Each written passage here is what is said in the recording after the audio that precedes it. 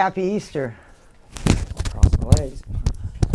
Now, um, happy 420. First of all, we're uh, we the compassionate patients are, as usual, grappling with um, the billionaire class like we do. You know, like practically anybody can say that, can't they nowadays?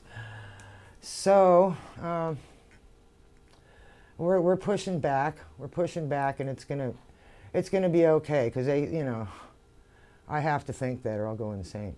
Now, when I, when it comes to uh, our topic today, Shona and I spoke briefly, and I asked her a question about real legalization, but we'll get to that in a minute. I've got that uh, MCLR. It's um, it's right on my Twitter feed right here, uh, right here. This is uh, uh, the uh, oh, I guess it's on Facebook. It must be on Facebook. Anyway, I um, I posted the link to MCLR. There it is. It's on my Facebook, Cannabis Legalization Initiative. I think it, it's on Twitter as well. So there's your link to uh, the full text. It's it's long, just like Prop 64 is long. But the thing is, it, everything that Prop 64 get, uh, take us, takes away, you know, SB 420 gives you. So gave us. I don't know how they can celebrate 420 unless it's just a time of day instead of um, the Senate bill that was written by more people than just a couple billionaires. So and legitimized by us as well. So um, Omar Figueroa, now he's a great attorney for our community. Omar Figueroa uh, has a statement here, and uh, he says,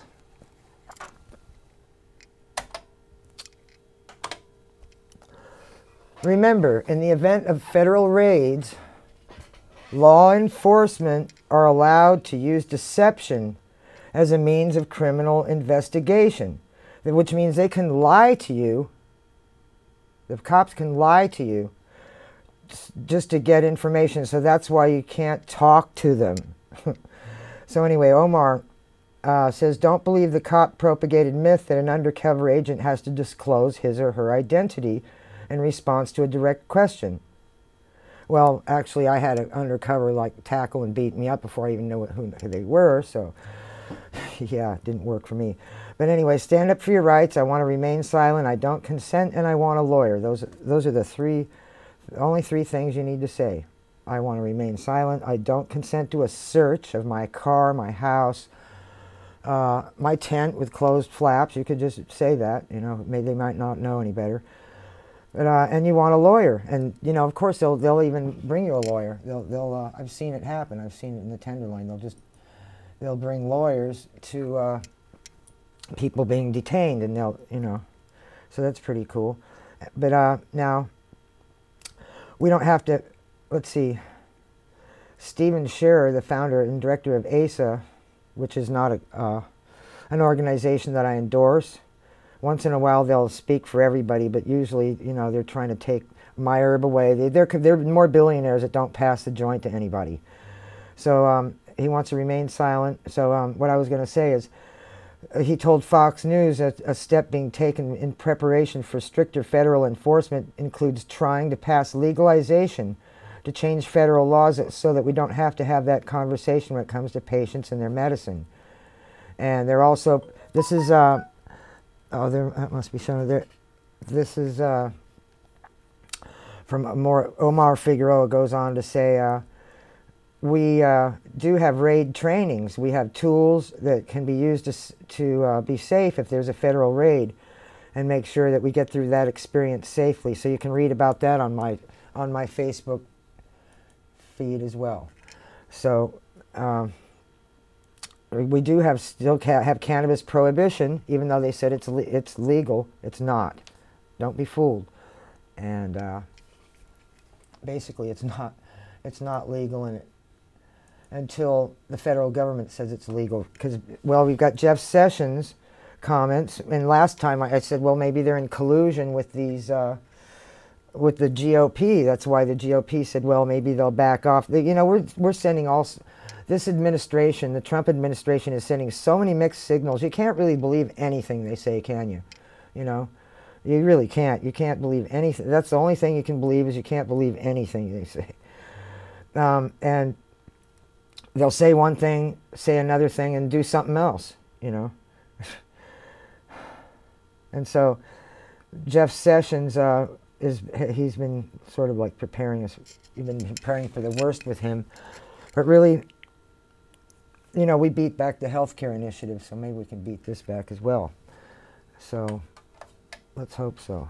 I mean, we're working on this MCLR. Shona said, Shona Gochenaur and uh, of Axis of Love, the educational director of Axis of Love, said that uh, our, we're focusing on the state level this session and for MCLR. Now, I showed you it's on my Twitter feed, the link to read it.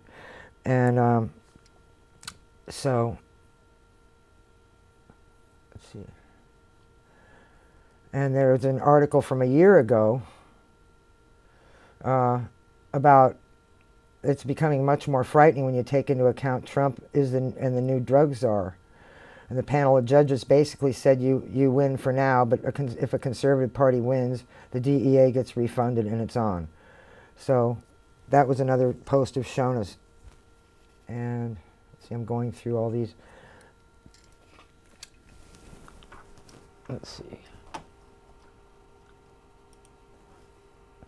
Yeah, there's the full text. It's on my Facebook. Right here. Oh, check this out. Give it a read. Uh, it didn't have. It doesn't have jail for for cannabis. So that's. I mean, jail for cannabis is unconscionable, and like we've been saying over and over. So this was from April twentieth, 2015. I shared this. We thought we were all we were really hopeful that MCLR was going to pass. That's a. Uh, marijuana. Uh, let's see. We occupied the herb. Now today, I was going to go to go over to uh, celebrate 420 at Hippie Hill, but I'll tell you what, there, I, I got reports that they were just test checking everybody for everything. They put gates up, and it's just really hard to get in there now. And I just thought it's not really worth going to this year, so I gave it a miss. And uh, there, I mean, the last time I was there, there were drones. You didn't get a phone signal. You can't really come or go from the hippie hill. It's just solid people, so it's a lot of people there. And uh, oh, you know, and besides, I have a show today, so we had to. Uh, I had to pick because I could. I if I went to the park, I couldn't have done the show or live streamed it, which was a, would have been a good idea, but no can do. So we're doing things locally too. We'll be able to talk about it soon. There's things we're we're seeing progress and things are looking better. We've got to, but we can't slack. We have to keep on it. We have to keep. Um, okay, so. Okay, here we go. Here's some tweets that I put out. Now, now Shona, I read See, I've got to find her statement here.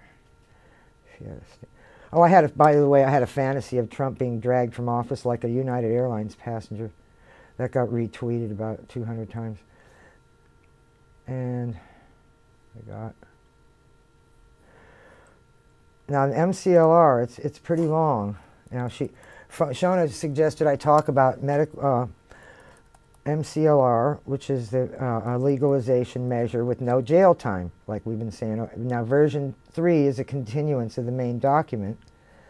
And uh, Ed Rosenthal endorsed MCLR and uh, the Marijuana Control Legalization and Revenue Act initiative. And so that's Ed Rosenthal. Now, Snoop Dogg, he thinks uh, he's, you know, friends with a felon, you know, called Martha Stewart and he unfortunately promoted jail for cannabis. I don't know why he would do that, but I guess he didn't read the right tweets or something because nobody could get to him. Trust me, we tried. and uh, so we've got also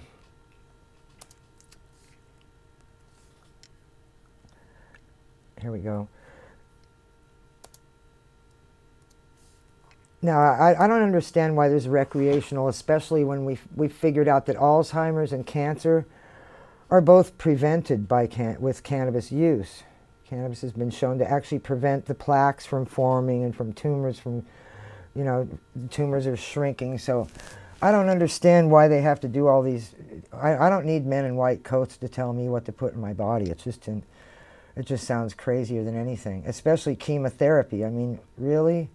Like 3% of people are cured with chemotherapy and they're still, you know, pushing all these the chemotherapy and the drugs to deal with chemotherapy. That's a that's a uh, gold mine too. So, yeah, big pharma. Just you know, if you can get help yourself with the cannabis, it's better for you.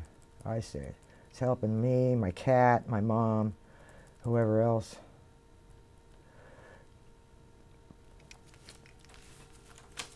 Now, for people who are planning to join the, the green rush, you know, um, they think they can make millions of dollars in the cannabis industry, and um, they take entrepreneurs' money, and uh, and a lot of people just want want to not share the wealth. So that's basically what it is. So we're, we're um, see the legislators also have power to change Prop 64. So that just it doesn't sound really. It never sounded fixable to me. It never sounded like Prop 64 could be could be fixed very easily, or, or if at all, because uh, it's just the doctor that promoted it. Uh, Dr. Lyman, the main propo doctor proponent of cannabis, uh, let's call it Prop 64, fake legalization. He uh, says it's bad for you. So how can you? Come on now. If it was bad for me, I'd be dead. A lot, we'd be dead. Back in the 70s. And we've got, let's see, what else have I got? Oh, oh here, here's the article I want to look. Homeland uh, Secretary Kelly. Now, this is a, uh, April 18th. This is a statement that came out. Homeland Security Sec uh, Secretary John Kelly Tuesday called marijuana a gateway drug and vowed his agency will uphold federal laws against its possession. And that's a sterner message than he delivered on the topic just last week. Well, I know this is, you know, these guys should just wear thongs because, you know, they flip flop all the time. You know, that's the story of this administration. And so um, it's a, he says it's a potentially dangerous gateway drug that frequently leads to the use of harder drugs. Um, he said this during a speech, and uh, until that law is changed by Congress, we, we in Department of Homeland Security are sworn to uphold the laws that are on the books, he added. That was Sunday. He, he, that was on, uh, I guess, Chuck Todd, that show. I saw it, Meet the Press, probably on my DVR. So, anyway. Jeff Sessions, he's an opponent, and sometimes some of them are saying they don't want to mess with cannabis patients, but we really don't know what they're going to define as a patient. You know, is it does a patient mean that you know you have an hour to live, or is it you know what it is now is just whatever it helps. Whatever ailment cannabis will help is how Prop 215 is craftily written. And it was good. It was good, you know. It meant that a lot of people were helped. A lot of people can't, uh, many patients can't get a diagnosis from a doctor anyway, you know. So they're pretty much on their own to obtain cannabis legally uh, with um, and the let's face it the, this recreational cannabis is not I don't believe it I don't want to buy it because my money is going to be going to ta my tax money like 80% goes to cops so why would I why would I actually buy it so I I really urge you to uh, boycott Prop 64 bunk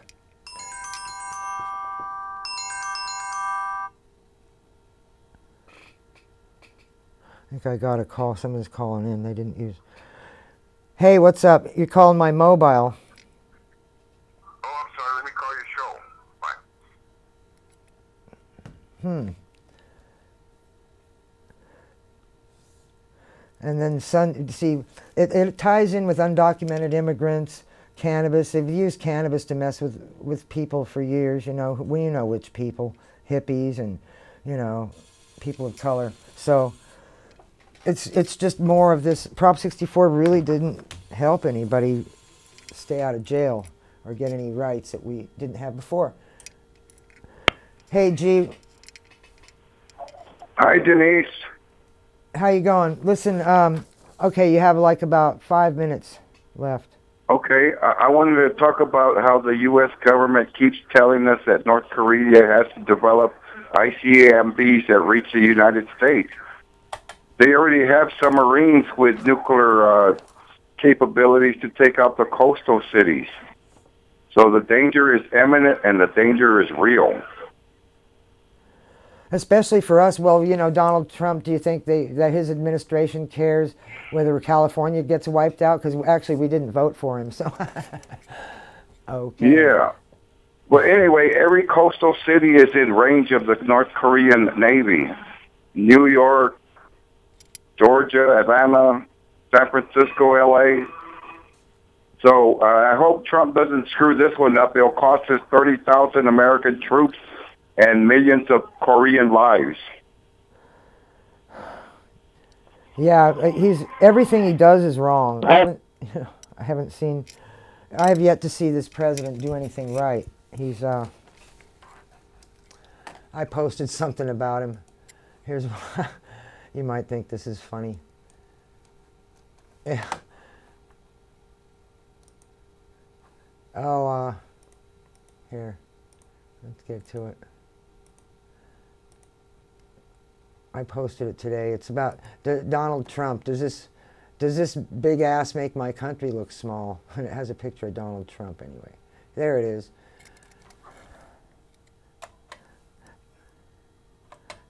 Does this big ass make my country look small? So that's just a laugh today. Now remember that you, you know if you think that I don't know 420 I got reports that 420 celebration I, I was turned off turned off by how well there weren't it wasn't well attended from the reports I'm getting and that uh, there there's gates around the whole uh, hippie hill and nobody can really get in there uh, very quickly. You have to wait in line just to get in so I'm over it. It was fun. And then they had drone they probably have drones and no phone signal so that's a deal breaker too.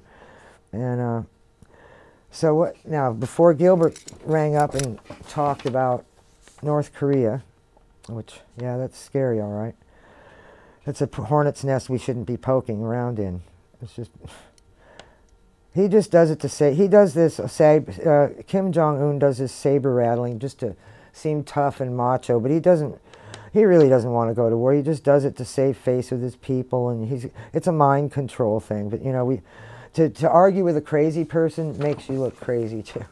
That's what I'm saying. That's why Trump shouldn't really argue with this guy because it makes him look like a nut job. You know? Yeah. So, yeah, Trump. So we've got we've got more. My notifications. Let's see. Let's go down them. Um, people were were retweeting. Uh, There's no such thing as recreational cannabis because it prevents disease.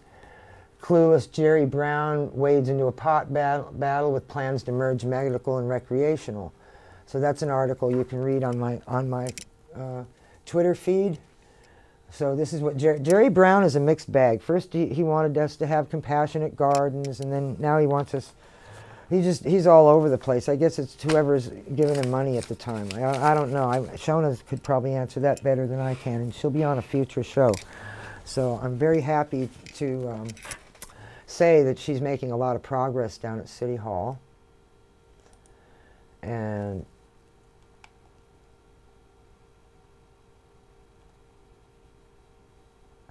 So she, oh God, I've only got a minute and a half.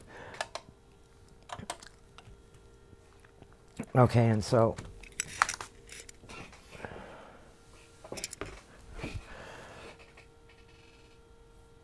now um, cities and counties can override all that, all those uh, ma magnificent laws for legal cannabis. They can override any of them. They can even not allow cannabis at all. it's up to the city and county. You know, they can override state law by allowing local governments to re regulate marijuana regulated activities. So it just depends on where you live. Be careful, you know. I just, Well, we got to see. This year is going to be going to tell. It's going to be a deal breaker. It's going to tell where this wh- where legalization is going. See if we can get an initiative on the ballot next year. We need money. We need to get the information out that this is not legalization. We still need a lot. We can't really fix it. We have to replace this. So I, I really wish you a happy 420, and hope next 4. Uh, let's work to make next 420 uh, look brighter with more civil rights than we have now. And uh, so let's see, I have 30 seconds. So I'd like to urge you to watch. There's some good shows on uh, on BAVC, Channel 76. There's some live shows. Freedom is a constant struggle. Frank Molinaro's uh, mystery mystery school, Psychic Frank's mystery school, which will be next week at 5 p.m. on this channel. So, um, and I urge you to adopt a shelter pet. They're waiting.